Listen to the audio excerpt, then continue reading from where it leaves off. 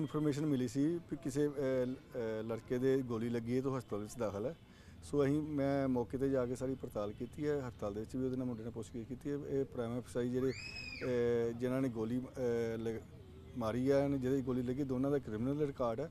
ਇਹਨਾਂ ਦੀ ਆਪਸ ਵਿੱਚ ਪਹਿਲਾਂ ਤੋਂ ਖਹਿਬਾਜ਼ੀ ਚੱਲ ਰਹੀ ਸੀ ਉਹਦੇ ਸਬੰਧ ਵਿੱਚ ਹੀ ਅੱਜ ਇਹਨਾਂ ਦਾ ਦਰਿਆ ਦੇ ਤੁਸੀਂ ਬਣ ਤੇ ਝਗੜਾ ਹੋਇਆ ਜਿੱਥੇ ਇਹਦੇ ਮੁੰਡੇ ਤੇ ਗੋਲੀ ਲੱਗੀ ਹੋਈ ਹੈ। ਸਰ ਕਿੰਨੀ ਜਗ੍ਹਾ ਇਹਦੀ ਸੱਟਾਂ ਲੱਗੀਆਂ ਹੋਰ? ਇਹਦੇ ਹੈਡ ਇੰਜਰੀ ਹੈ ਐਂਡ ਜਿਹੜੀ ਗਨ ਸ਼ਾਟ ਹੈ ਉਹ ਲੱਤ ਦੇ ਵਿੱਚ ਹੈ ਸਰ ਗ੍ਰਿਫਤਾਰੀ ਕੀਤੀ ਹੈ ਕੋਈ ਇਸ ਮਾਮਲੇ ਨਹੀਂ ਇਹਦੇ ਵਿੱਚ ਅਸੀਂ ਕੁਝ ਜਿਹੜੇ ਸ਼ੱਕੀ ਬੰਦੇ ਨੇ ਉਹ ਪੁੱਛਗਿੱਛ ਲਈ ਰਾਉਂਡ ਅਪ ਕੀਤੇ ਨੇ ਬਟ ਹਜੇ ਕੋਈ ਫਾਰਮਲ ਗ੍ਰਿਫਤਾਰੀ ਨਹੀਂ ਕੀਤੀ।